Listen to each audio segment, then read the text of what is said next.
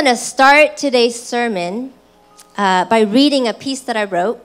It's a little bit um, intimate and vulnerable, all right? So I'm going to just bring you in real fast. uh, I wrote a piece about a year ago, and this is kind of a piece in reflection and lamenting my own kind of racial journey as an Asian American woman. It's called The Blood of the Land Cries Out. 30 years ago, my family stepped foot onto the stolen land. Oblivious to the history of brutality, the bloody hands and feet of those who walk it, we came for the American dream. A dream created for and by people who don't look like us, and perpetuated by the oppressive forces of colonialism. It is a dream that obliterates all other existing dreams. A dream intolerant of collective thriving. A dream that demands from its dreamers death of the mind, spirit, and body. So we dutifully died. Little by little, we died to our pride in history. Hating the color of our skin, the sound of our language, the sacredness of our food. We died to our connection with family and land. We died to our old self and surrendered our lives to a white Jesus. We saluted to the flag of white supremacy and swore ourselves in as citizens of the United States. Dutifully complied to the deaths of other dark skinned people. We turned on our family, unaware of the blood that is now on our own hands and feet. Yet, the blood has a way of testifying. The blood of the land cries out, just as the blood of Abel did. Our ancestors testified to the dead and the dying of this land. They testified of their brutal deaths as disposable laborers, as sex workers targeted for assaults and lynching, they testified of their courageous collective struggle for life and liberty. The blood of the land cries out, and we woke from our sleep.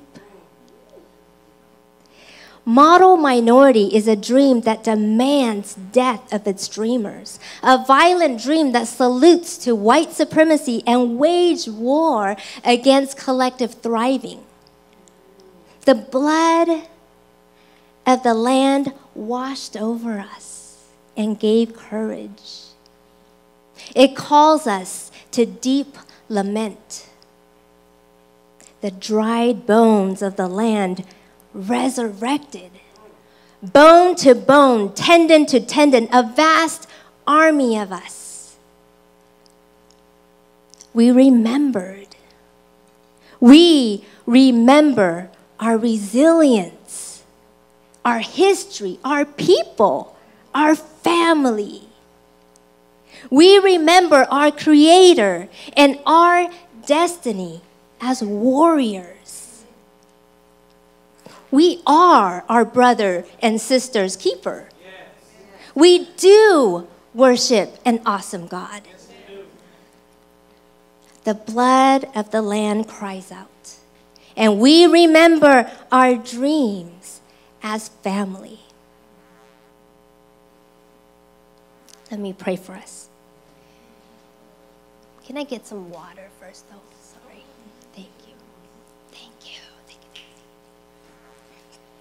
Let me pray for us. Oh. Lord, I thank you for family. I thank you for resurrection. I thank you for waking us up. Our mind, our spirit, our bodies. And I thank you for your dream. I thank you for your dream for us.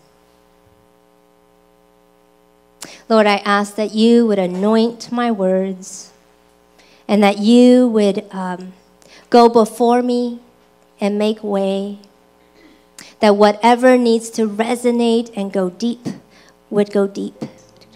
And whatever is not of you, um, may it be erased. In Jesus' name, amen. All right. So thank you for receiving my piece. Uh,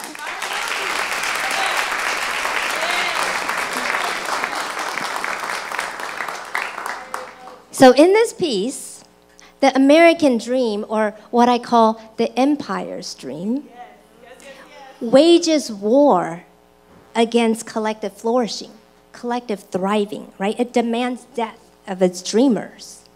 Yet the blood of the Lamb testifies and wakes us from our sleep. Right? It resurrects in us our original dream as kingdom family. I remember in one of the many deep, meaningful conversations I had with my adopted auntie, uh, Janet King. I don't know if he's here. She is she here? Yay! Um, auntie um, Janet is uh, of the Lumbee tribe, and in one of the conversations we had, she said, every new encounter across the globe is like a family reunion, whether people honor it, acknowledge it, or not. So, if we understand our familial ties as humankind or our ties to our Creator as our first parent, um, if we saw everyone as our elder, as our auntie, uncle, our siblings, our babies. How would it challenge how we live out missions or ministry? How we think about international relations or domestic relations, right? How we interact with the criminal justice system, the education system, the immigration system. The dream of my family growing up was always to make sure that every family member had what they need in order to reach their fullest potential. Now, their per- perception of what we need and what our fullest potential uh, might be might not always look or sound kind of the most helpful, right? My family. Yet, nevertheless, that was their intention, right? That every family member would get what they need in order to reach their fullest potential, to contribute to society, and to live in peace. Isn't that God's dream for us? As the global kingdom family, right? The collective flourishing of all people, that all members would have what they need, not only just to survive, but to thrive right? To thrive, to become the best of who they were meant to be.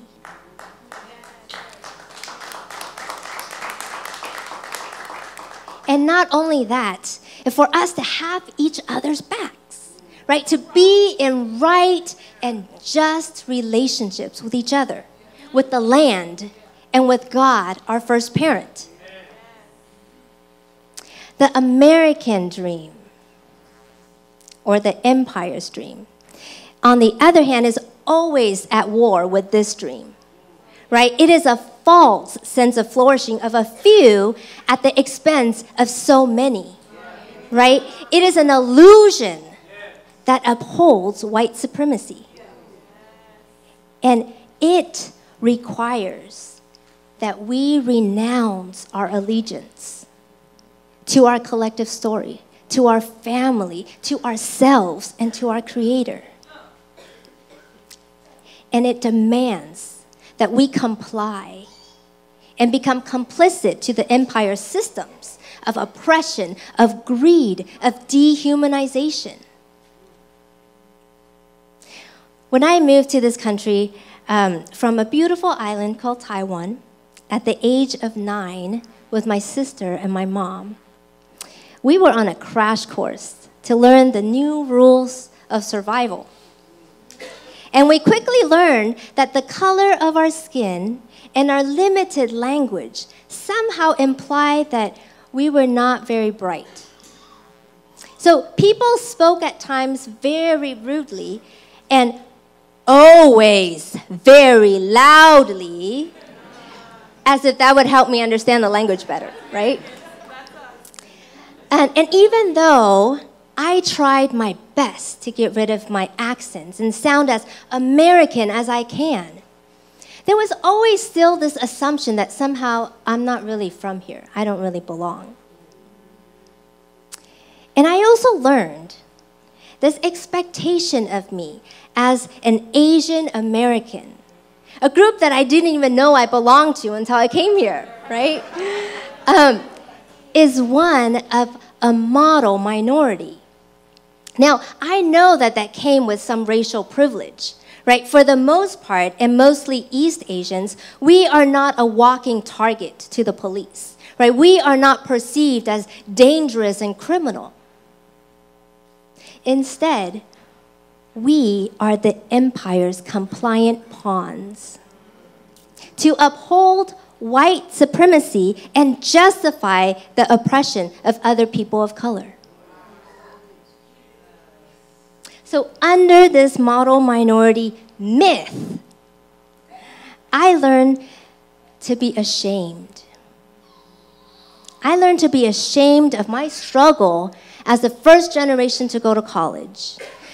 I learned to keep silent, silent about my father's upbringing in poverty, in alcoholism and drugs, to be silent about my grandfather's criminal justice or my aunt fallen victim to kidnap, rape, and forced marriage with a gang member. These were not the struggles of a model minority. So instead, I started to run. Run and turn away from family, turn away from our collective narrative in order to fit into the empire's narrative, the empire's dream for me. In the first account of murder in Scripture, we see our Creator putting self right in the middle of a homicide between two brothers. Cain grew jealous of Abel's favor with God, right? And Abel became the scapegoat for Cain's own sin, right? He was the source of why he did not have favor with God. So, the dream of collective flourishing as family quickly turned into a dream of vengeance and power. Can we pull up the first slide? So, here, the Lord said to Cain, Why are you angry? And why has your countenance fallen? If you do well, will not your countenance be lifted up? But if you do not do well, sin is lurking at the door, and its desire is for you. But you must master it. So we later find out that Cain didn't really pay much attention to God's warning right? He missed that one. Uh, and he brutally murdered his brother. There is a way that sin breeds sin unless we disrupt it.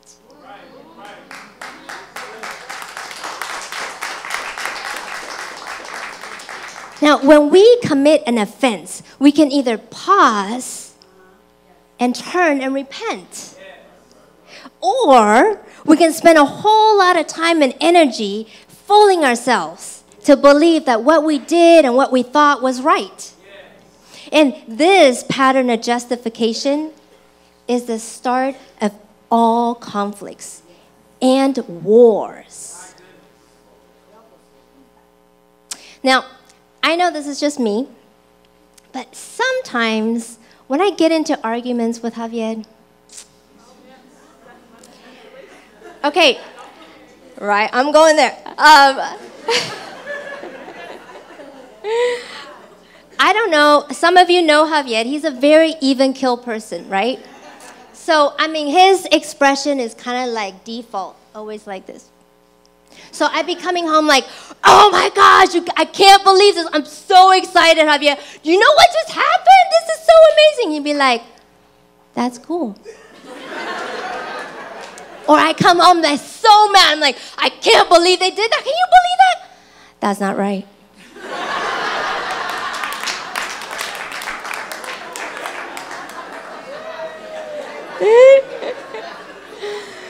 so we get into this argument, right? And I am I am mad. And I'm mad and the conversation's getting heated and you know, I'm just like, I can't believe this. You're such a oh, right? And I say something.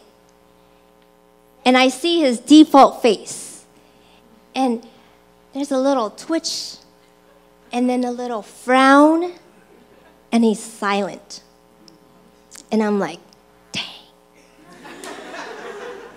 I think that one hurt. Right?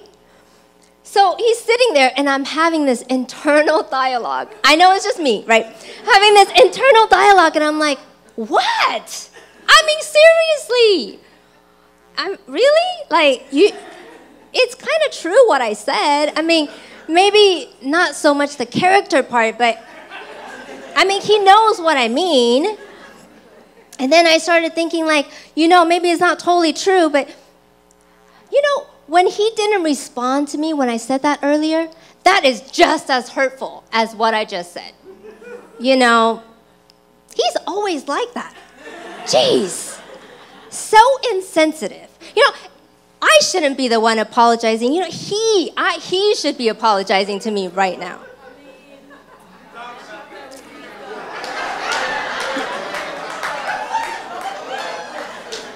Javier's looking at me like, yep. Right with his face. Okay, so I know that's just me. No one can relate. So there is a way that we, or that I, can talk myself into justifying my offense, right? And this pattern of justification requires that we dehumanize the other person. And it's the start of all conflicts and wars. If we can pull up the next slide, it's an excellent book recommended by Pastor Donna. Um, it's called The Anatomy of Peace Resolving the Heart of Conflicts by the Arbinger Institute. So it says, when I choose to act contrary to my own sense of what is appropriate, I commit an act of self betrayal. And a choice to betray myself is a choice to go to war. Because when I betray myself, I create within myself a new need a need that causes me to see others accusingly. I'm going to let you sit with that for a little bit. Now, this happens both in the micro and the macro level. Right? The choice to betray our sense of what is appropriate in relating with kingdom family right? Our innate longing for what is right and just because we're created in God's image. The choice to betray is the choice to go to war. It will escalate and snowball because the Lord says, if you do not do well, sin is lurking at the door, and its desire is for you. So, how have we seen the American empire go down this path? First, it was coveting the land and resources of family. Then it was coveting free and cheap labor from family. Then you have to fabricate more lies and instill more policies to systematically, intergenerationally, across generations, justify the murdering and dehumanization of more family. You have to strategically craft your criminal justice system, your education system, your immigration system, your food system to make sure that family will never become family. But always treated like an outcast, inferior, and undeserving. And the victims, the victims like Abel, they quickly go from family to savages to criminals to enemies deserving of all kinds of ill treatments such as slavery and torture and genocide, imprisonment, and all forms of oppression. Now, at any point, we as a nation could have mastered sin's desire for us, right? At any point, we could have stopped and acknowledged our offenses and disrupt the war. But instead, we continue to erase, to sanitize, to manipulate our history to hide the offense.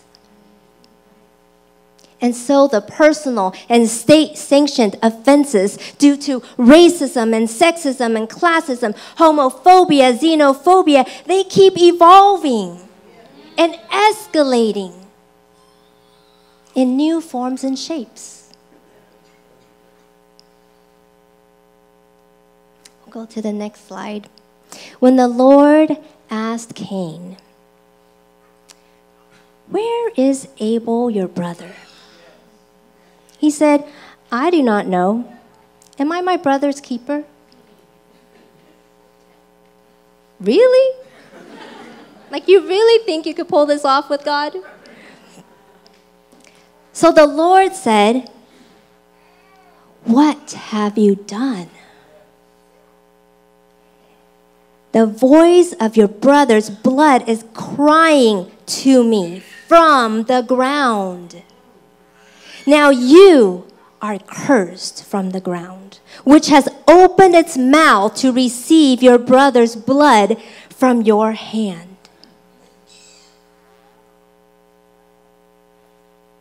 Just because we disown family doesn't mean they stop being family.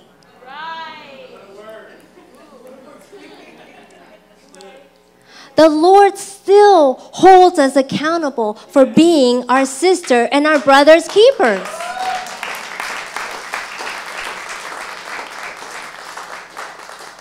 The Lord received Abel back and then carries out justice. Right? God cursed Cain from the ground. Family, the land of this nation is drenched in blood. And the Lord has received back every single person that have died on this land and is carrying out justice.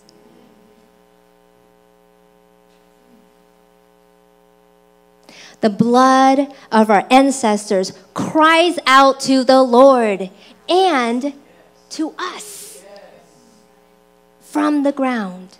And it not only testifies of the horrendous offenses and demands justice from the Lord, it testifies of the incredible victories and courage and resilience of our ancestors.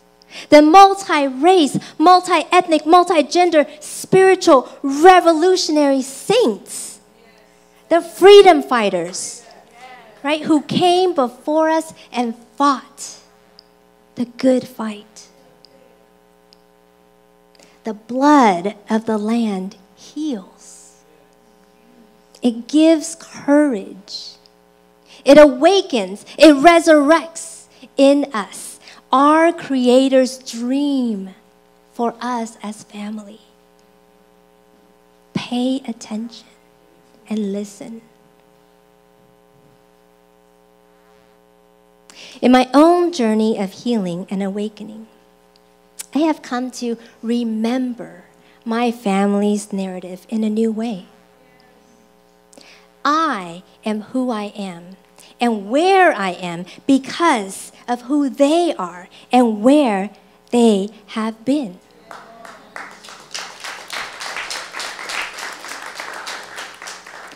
I have come to deeply appreciate the sacrifices and the hard work of my family to give me the opportunities, the privileges, the comfort that they never had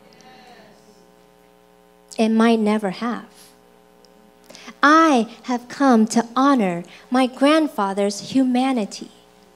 As a grandfather, a father, a husband, a man who loved the best that he knew how he will be remembered and defined by much more than that one mistake that landed him in prison. My aunt, who was kidnapped and forced into an abusive marriage, was way more than a victim. She was a survivor who prophetically and courageously disrupted the empire's narrative in her life and the lives of her family.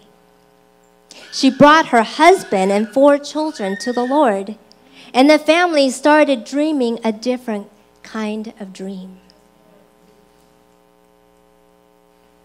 My maternal grandmother was my one safe refuge growing up. And growing up in a misogynistic culture, she became the property of her husband at a young age and dutifully raised seven children. And as a peasant girl who was never given the opportunity to go to school, she has taught me what our school education could never teach.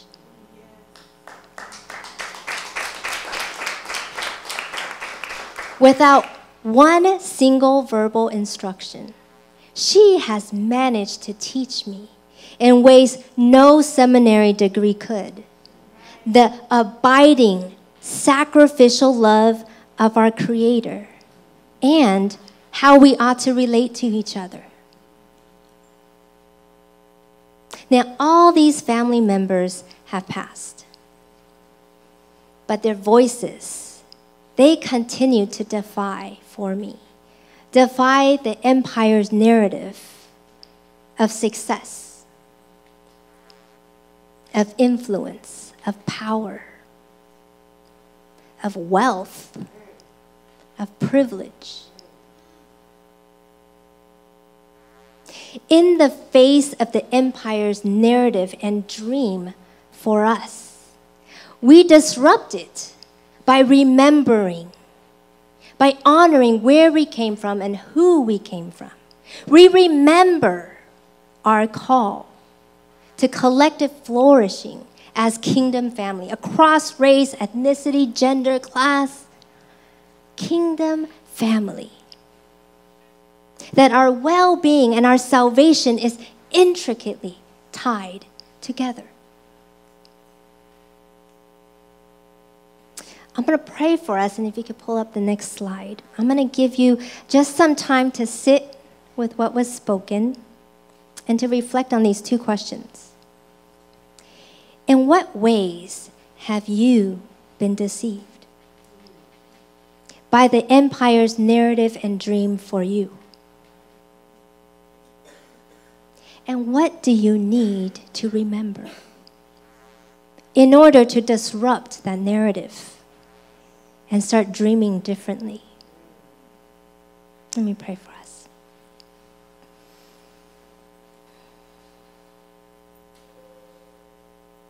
Creator, thank you. Creator, we remember your commands to us. Hmm.